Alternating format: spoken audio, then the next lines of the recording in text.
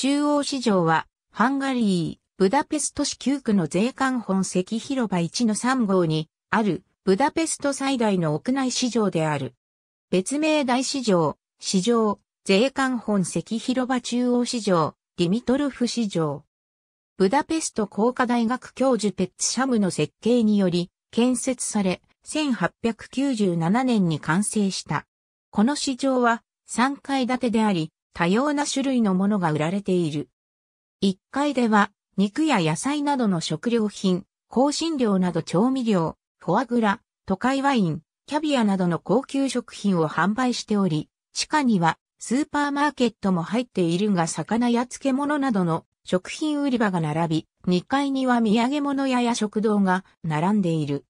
日曜と祝日は休業であるたは午前6時に開業し、月曜日は午後5時まで、火曜日から金曜日は午後6時まで、土曜日は午後3時まで営業している。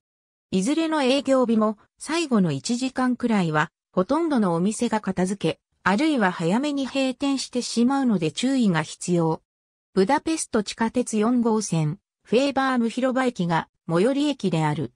ナギー、N とチャーノック、トンはアーノックの合成語。チャーノックはバルサークサーノック、VR、トンアーノックを短くしたもの。